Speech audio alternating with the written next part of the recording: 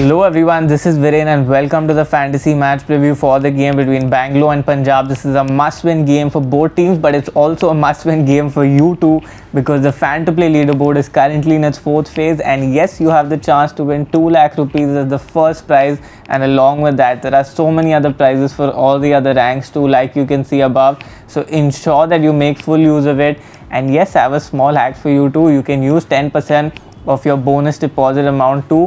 That bonus cash will come to good use on this app. So ensure you download it. The link is in the description. And apart from that there's also a free entry contest for you. So there's so much for you in offer. Ensure that you download the app. And now let's get to the preview for the game so first up, we'll start with the keepers and the batters for the game. I'm going with two keepers, Jonny Bairstow and Jitesh Sharma. Both of them looked in really good form in the last game. And Jitesh Sharma is a credit saver, is a slightly differential pick too, but I think he's finishing games well. So if Punjab bats first, he's surely going to be in my team. And apart from that, he is also keeping. So I think that is the full value proposition that you expect from somebody at that number. Apart from that, we have three batters in the game, Virat Kohli and Faf du Plessis both of them have been firing hot and cold hot and cold. Maybe you have a gl drop in one of them based on the conditions and the scenario. And the third pick is going to be shikhar dhawan. The man has been in good form orange cap contention been in the top five run scorers right in the start.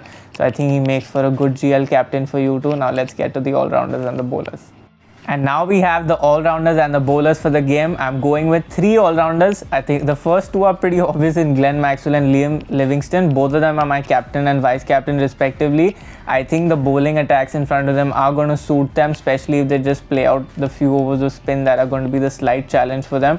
Apart from that, they're also bowling for you. They're giving you fielding points, fielding in high traffic areas. So I think they're your safest, especially captaincy and vice captaincy bets because we are seeing that top orders are collapsing for teams. And the third pick again is a credit saver, slight differential in the form of Rishi Dhawan. He's batted very little, but he's batted pretty well at that strike rate. And along with that, obviously, he's bowling two to three overs in every game. So I think he's a good value proposition pick for you.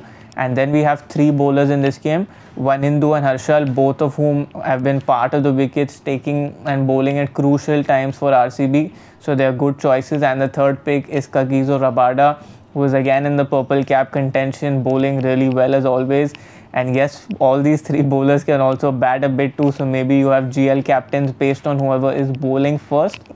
Now let's look at the combination and the matchups. So finally, this is what the combination looks like. We have two keepers, three batsmen, three all-rounders and three bowlers. So we're going pretty balanced. Now let's look at our favorite section, the matchups. And now we have the matchup section from where you pick and drop your GL players. Currently, we have some really interesting ones. All the big names are in here. Shikhar Dhawan been dismissed twice by Harshal Patel. Strike rate is not too much, so maybe that's a threat, but that would be later because Harshal is not really bowling much at the start unless RCB has a surprise for us.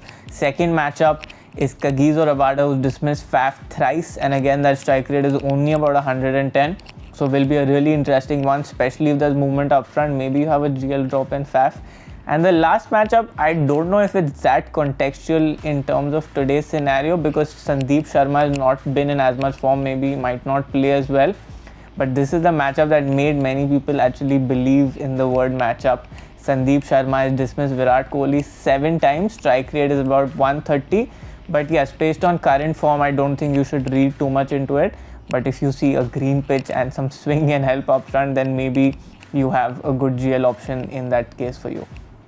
And now we have the challenge picks for this game. I'm going quite simply with the safe challenge picks in this game. Liam Livingstone and Glenn Maxwell, both really good options for you and not too much risk in there. So they're pretty safe.